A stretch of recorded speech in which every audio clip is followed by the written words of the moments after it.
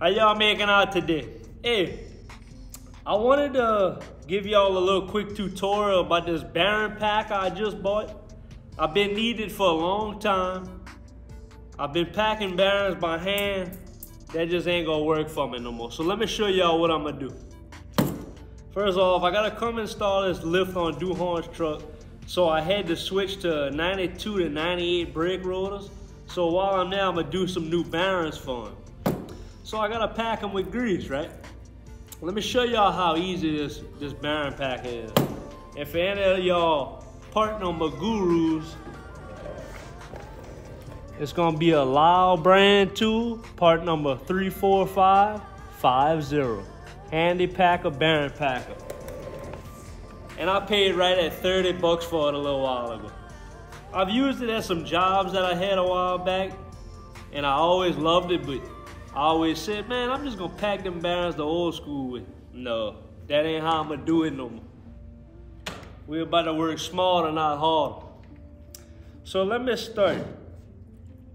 You're always gonna place that bearing small and down, right? After you pack it full of bulk grease. Use your favorite wheel bearing and chassis grease. That's all you need. From your local uh, O'Reilly's or Napa or AutoZone, wherever you get it from. You get the point. Comes with a little grease fit right there if you want to pump it in, or you could just, like I did, squeeze the tube in there way faster. Put that bearing like so, small and down.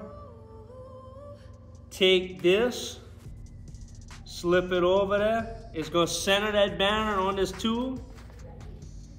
And make sure it's over support because you gotta put, put a good bit of pressure on it.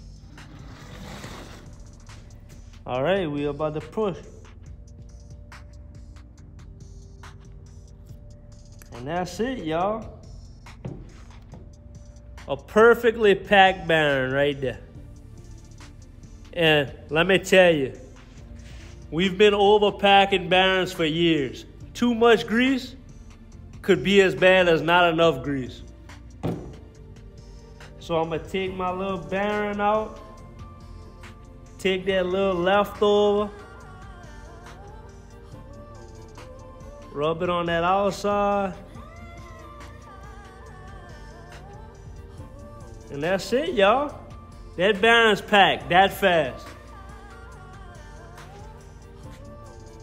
Check it out. You can't see no air right there. She's packed front to back with grease.